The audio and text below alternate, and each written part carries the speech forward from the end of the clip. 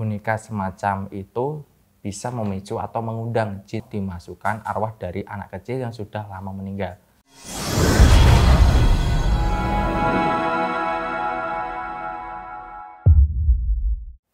Assalamualaikum warahmatullahi wabarakatuh dan salam sejahtera buat kita semua. Semoga kita selalu mendapatkan rahmat dan keberkahan dari Allah. Amin, amin ya robbal alamin.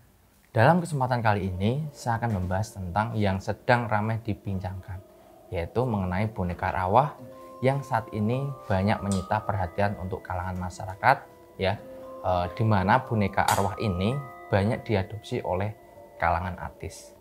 Jadi boneka arwah ini e, menurut ya kepercayaan dari pemilik atau yang mengadopsi adalah sebuah boneka yang diisi atau dimasukkan arwah dari anak kecil yang sudah lama meninggal yang kemudian diberlakukan seperti layaknya bayi atau anak kecil pada umumnya.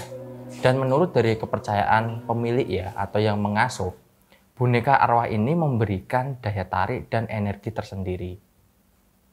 Nah, sedangkan ya menurut atau dari sudut pandang Islam sendiri menyebutkan bahwa hukum boneka dalam ajaran Islam hanya diperbolehkan untuk media bermain anak perempuan dan tidak diperkenankan meyakini sebuah boneka itu bisa memberikan spirit, sebuah keberuntungan, dan semacamnya.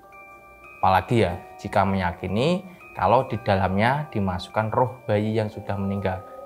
Karena jika seseorang ya sampai meyakini hal itu, maka akan jatuh pada yang namanya syirik dan mempersekutukan Allah justru uh, mengabduksi boneka semacam itu bisa memicu atau mengundang jin atau selainnya untuk masuk sehingga menipu daya manusia atau pemiliknya sehingga berpikir apa yang didapatkan itu karena boneka arwah tersebut dan itu adalah kesalahan besar.